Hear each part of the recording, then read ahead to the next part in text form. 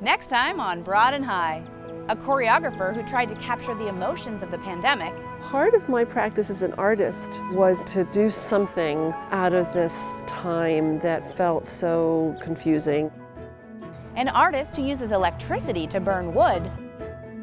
A quick bite recipe from an old friend. We go way back. And some reggae music to welcome spring. That's next time on Broad and High.